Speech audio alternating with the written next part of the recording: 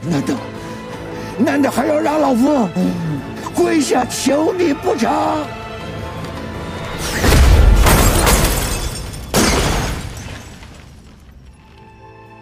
冯爸爸，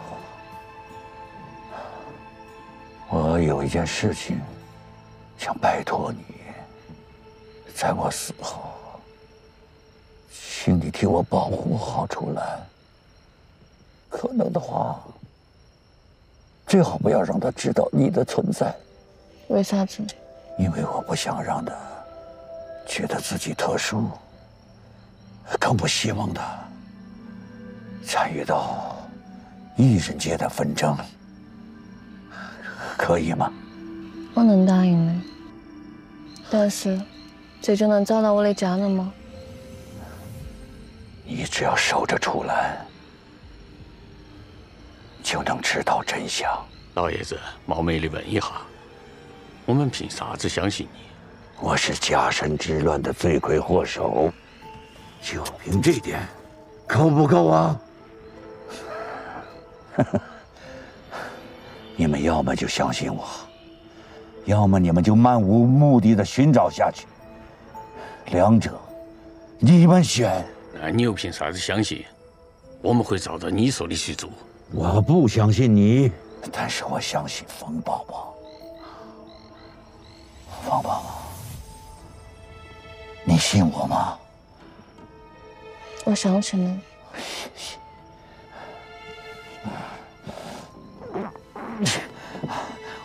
冯宝宝，我不行了，我现在全凭这一口先天气在撑着，请你给我个痛快。照你说的做，多久我能找回自己的过去？那就看你的机缘了。再说，王宝宝，时间对你还有什么意义吗？好，我答应你。谢谢，王爸爸。在楚兰正式踏入异人世界时，当他需要力量时，请把这个交给他。绝对相信你，宝宝。那我？没事，他只是给我一东西。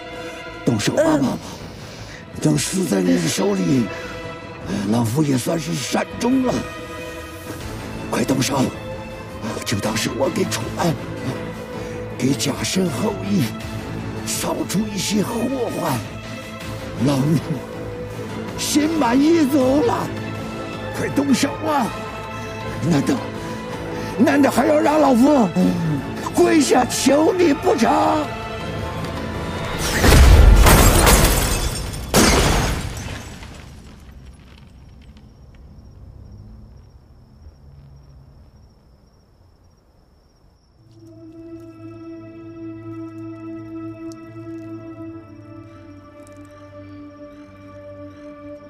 假慈悲要是没上那辆火车就好了假设你啥时候睡兔子都怪错了